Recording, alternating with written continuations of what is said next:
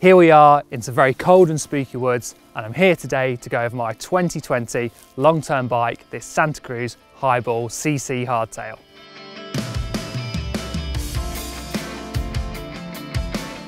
Now, as with any long-term bike, I'm going to go into the spec, why I've chosen everything, then my ride impressions.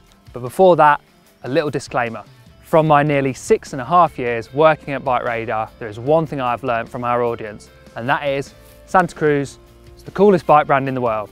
No matter what video we do, if we haven't included a Santa Cruz or we've left out a Santa Cruz, we are sure to know about it in the comments because, again, it's the coolest bike brand. Look, it's got Santa Cruz written down it. Lots of cool people ride them. That's all you need to know. Obviously, we jest just because it has Santa Cruz written down it and it's in a very cool colour doesn't mean it's an amazing bike. What we really want to know is how it rides. Naturally, I'm going to start with the frame. Why did I choose it? Well, without sounding like a broken record, I seem to say this every year. XC tracks, XC racing, it's getting gnarlier and gnarlier. Tracks getting harder and harder, so the bikes need to match these demands. I guess Santa Cruz is mainly known for making hardcore downhill bikes and hardcore trail and enduro bikes, so you'd hope that their cross-country bikes would have fairly contemporary geometry to match the demands of modern day cross-country racing. So those stats, a 69.5 degree head angle, and in a large a 450 millimeter reach, which is pretty long for a cross-country bike. The chainstay length is pretty short for a cross-country bike, it's 426 millimeters. That means it should be kind of nice and poppy and easy to get the front wheel up. And the wheelbase is nice and long at 1,140 millimeters. The seat angle isn't quite what I'd like to see on a modern day cross-country bike, it is 73 degrees. I prefer maybe to see 74 or even 74.5, something a bit steeper, but more about that later. And finally, and the best news of all, this modern day carbon fibre cross-country bike has an external bottom bracket. Yes! if you ever read the Bike Radar website or if you ever watch any of our reviews on YouTube, you'll know that we love external bottom brackets. They are far easier to live with than what you usually see these days, which is press fit, and we think they're great. The other thing it's got is these very on-trend drop seat stays, which means there should be a good bit of compliance in the rear end. The frame out of the box in a large with all of the hardware, all of this nice paint, weighed just over a thousand grams. Now a brief rundown of the rest of the spec. The fork is a RockShox SID Ultimate Carbon, the best fork they have available at the moment. Again, incredibly light, this one weighs just under 1500 grams. The group set is a mishmash of various components I've chosen, a SRAM Eagle X01 cassette and rear mech, I've got a SRAM GX Eagle shifter, and then a Rotor Kapic carbon crank with their new InSpider power meter. If my memory serves me correctly, the crank and power meter together weigh just under 550 grams, which is really light for a mountain bike setup.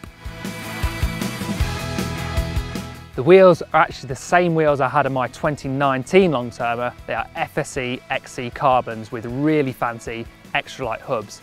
They weigh 1,190 grams. The rim width perhaps isn't the widest and they're perhaps not the stiffest wheels of all time, but again, they're incredibly light and for someone like me that only weighs 63, 64 kilos, they are plenty stiff enough.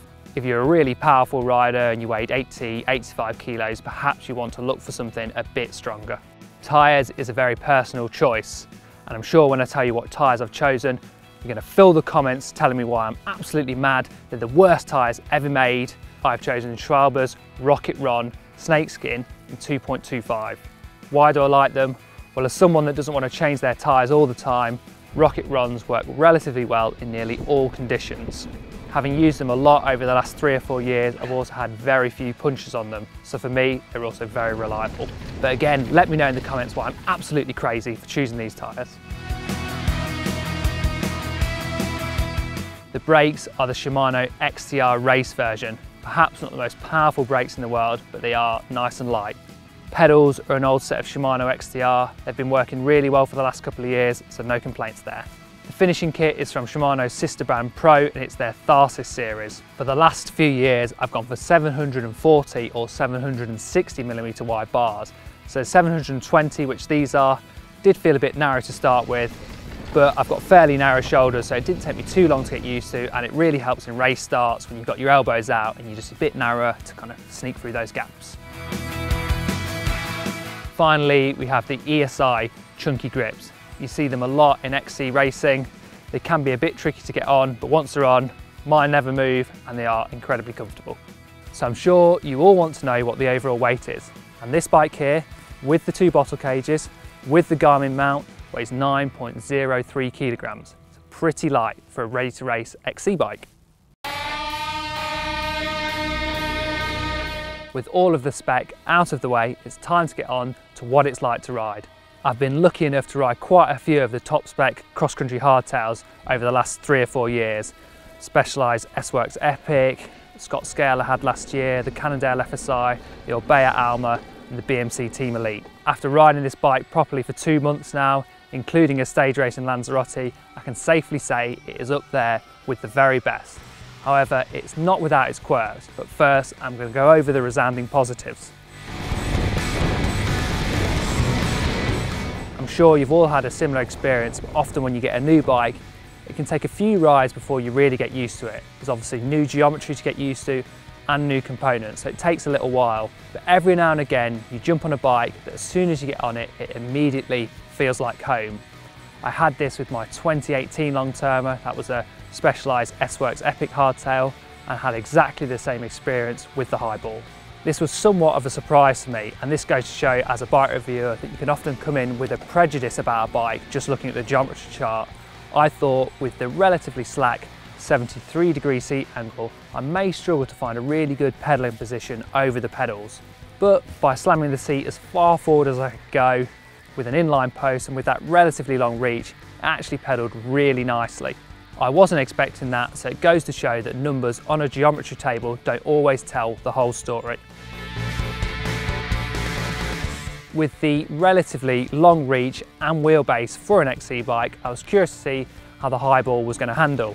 It obviously feels stable enough on the descents for a bike like this, but even in the tight stuff, it still felt nice and easy to turn. It didn't feel too ponderous, so I was happy. The drop seat stays do provide a little bit of compliance and give when you're sitting in the saddle, how much this will help on really long marathon races, i.e. five hours, well, I need to do some really long races to find out, and that's coming later on in the year. Have raced this bike already. I've recently come back from the four day MTB stage race in Lanzarote. That's a UCI S1 stage race. It's four days. For someone like me, it's really difficult. It's very fast, it's very rocky and very rough. I got on really well with the bike while I was there. It's not too technical, but the racing is quite kind of elbow to elbow and there's lots of dead turns and stuff like that.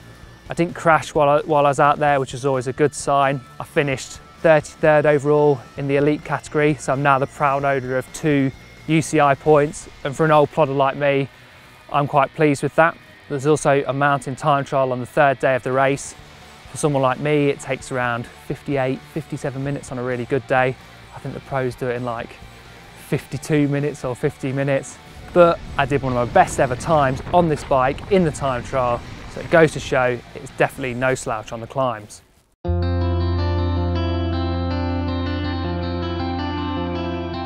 So on the whole, my experience of riding and racing this bike for the first two months has been resoundingly positive, but there are a couple of quirks.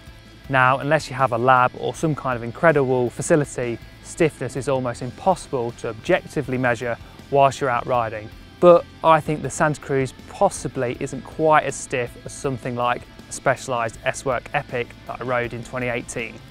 Whether this is down to those drop seat stays or the narrower bottom bracket shell you get from using an external bottom bracket, I'm not too sure.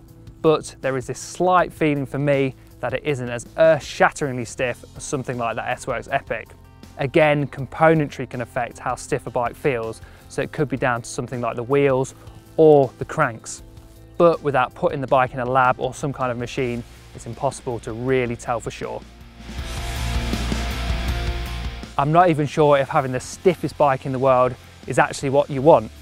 I've already raced this bike, as you know, I was no slower on it, so it's definitely not kind of costing me anything in terms of time or watts, So perhaps having a bike that's ever so slightly less stiff actually helps you with a bit of compliance and comfort. So I'm not even sure if it's a bad thing, but it's definitely something I wanted to mention. The other small issue I had when I first got the bike was that there was some slight water ingress into the frame. The Highball has quite a large port for an XC bike underneath the down tube near the bottom bracket. That means doing things like your internal cable routing can be a bit easier because you've got some simple access down there. However, it's also a place that water can creep in if that port isn't tight enough. And I think that could have been the issue, is that just when I had the frame to start with, that port hadn't been done up tight enough when I'd done the cable routing. Once I'd done it up tight enough, the issue seems to have gone away. But it's worth mentioning that if you have this bike, that's something you want to keep an eye on. It's also worth mentioning that in Bristol where I live, the winter so far has been incredibly wet. So perhaps any bike would have got water in it eventually because if you ride a bike in the wet for long enough, eventually water is going to creep in to certain places.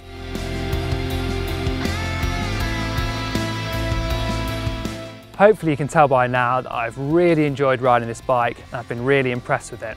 As I've already mentioned, there's only a few times you jump on a bike and it immediately feels like home and this is one of those bikes. I'm hoping to do plenty more events on this bike in the coming year, so keep an eye on Bike Radar for those updates. But I'd like to know what you guys think. Is this the sort of XC bike you'd like to ride, a hardtail, or should I have picked something else? As always, let us know in the comments. Don't forget to like and subscribe and click the little bell icon so that every time we upload a video, you get a notification. Goodbye.